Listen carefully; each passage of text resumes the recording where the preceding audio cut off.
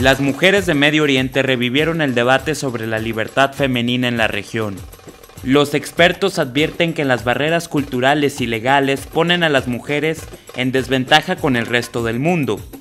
El Banco Mundial informa que más de la mitad de las mujeres en Medio Oriente y el norte de África no tiene trabajo.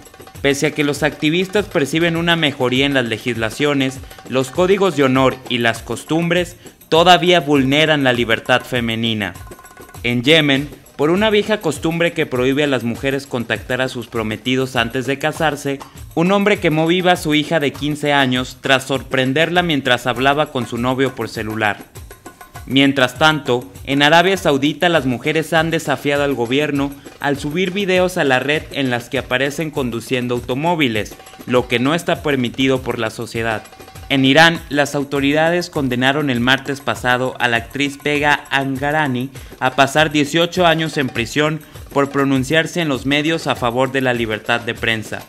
En contraste, otros países ponen el ejemplo desde la tribuna política, como Turquía e Israel. Como un símbolo de la libertad, cuatro legisladoras turcas vistieron en una sesión un velo, algo inédito desde 1999.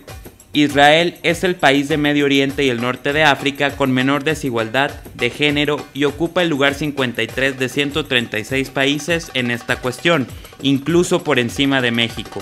Todas estas controversias provocan que una vez más el mundo entero alce la voz a favor de las mujeres árabes.